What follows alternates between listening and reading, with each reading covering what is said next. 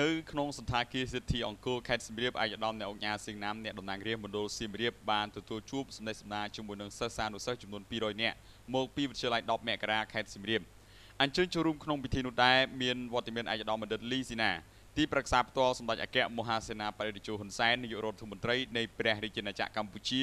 និងឯកឧត្តមគុជលីណាសមាជិកក្រុមប្រឹក្សាខេត្តសៀមរាបព្រមទាំងលោកគ្រូអ្នកគ្រូបង្រៀននៅវិទ្យាល័យ10មករាជាច្រើនរូបចូលរួមផងដែរ។ មានប្រសាសន៍នៅក្នុងឱកាសនោះឯកឧត្តមគុជលីណានិងឯកឧត្តមលីស៊ីណាបានលើកឡើងពីបទពិសោធន៍និងកលឹះសិក្សាមួយចំនួនដើម្បីឈានទៅរកជោគជ័យជំនះក្នុងការសិក្សាហើយក្នុងនោះដែរឯកឧត្តមក៏បានជំរុញឲ្យសិស្សានុសិស្សទាំងអស់ត្រូវចេះទទួលខុសត្រូវលើការរៀនសូត្ររបស់ខ្លួនដោយខ្លួនឯង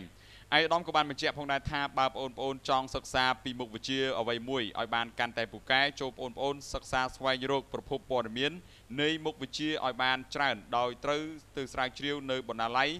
ឬក៏ទៅបណ្ណាគារដើម្បីទិញសៀវភៅមកអាននិងជាពិសេសបងប្អូនគួរព្យាយាមសិក្សាស្រាវជ្រាវតាមប្រព័ន្ធអ៊ីនធឺណិតព្រោះវាជាប្រភពធនធាននៃចំណេះដឹងសកល និងសម្បូរបែបសម្រាប់មនុស្សគ្រប់រូបហើយអ្វីដែលសំខាន់គឺបងប្អូនត្រូវព្យាយាមសិក្សាស្វែងយល់ពីមូលដ្ឋានរបស់វាឲ្យបានច្បាស់លាស់ហើយចងចាំវាឲ្យបានល្អ ឯកឧត្តមអ្នកអង្គការសិង្ហណាំបានមានប្រសាសន៍លើកឡើងពីបញ្ហាមួយចំនួនទាក់ទងនឹងប្រវត្តិសាស្ត្រនៃប្រទេសកម្ពុជាក្នុងនោះដែរឯកឧត្តមក៏បានរំលឹកពីខ្សែជីវិតផ្ទាល់របស់ឯកឧត្តមដែលបានឆ្លងកាត់ក្នុងរបបជាច្រើនក្នុងអតីតកាលសម្រាប់ឲ្យបងប្អូនសិស្សានុសិស្សទាំងអស់បានយល់ដឹងជំនួសដែរឯកឧត្តមក៏បានលើកឡើងពីការអភិវឌ្ឍរីកចម្រើនលើគ្រប់វិស័យរបស់ប្រទេសជាតិនាពេលបច្ចុប្បន្នក្រោមការដឹកនាំរបស់រាជរដ្ឋាភិបាលកម្ពុជាដែលមានសម្ដេចអគ្គមហាសេនាបតីតេជោហ៊ុនសែនជាប្រមុខរដ្ឋ